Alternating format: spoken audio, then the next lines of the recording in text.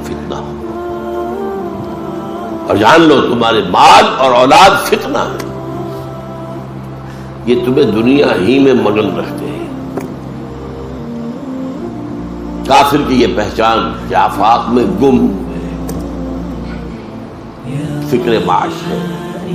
औलाद की तालीम बेहतर से बेहतर हो जाए।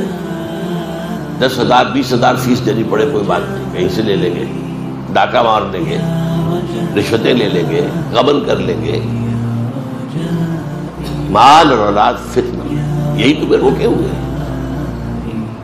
यही तो तुम्हारी दामन थामे हुए हैं। अल्लाह की राह में बढ़ने नहीं देते।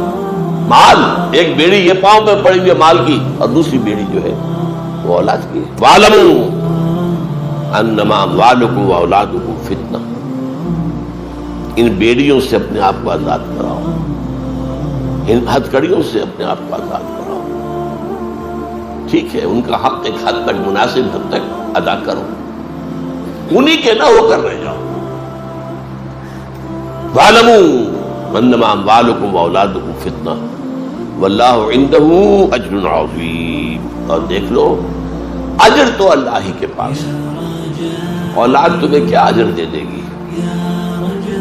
तुमने अपने आप को खपा दिया औलाद में पूरी जिस्म जान की कुत पैसा कमाने पर पैसा लगा दिया, औलाद पर या मकानों पर और बिल्डिंगों पर।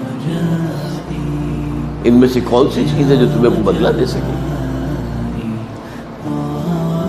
यही औलाद जवान होकर सीना तान कर खड़ी हो जाती है। नहीं जी, आप तो दकियानुशी आदमी है। आप तो पुराने दौर के आदमी है। मैं आपकी बात नहीं मान सकता। उसका सीने पर सांप लौटता है। ये मेरा बेटा बोल रहा ये वो है जिसे मैं समझा था, ये मैं ही हूँ। ये मेरे वजूद का तसलसल है। और ये आज इस तरह खड़े होकर सीना तान कर और मुझसे बात कर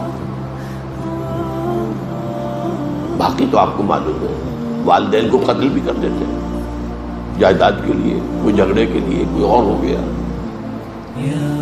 सारा कुछ हो रहा है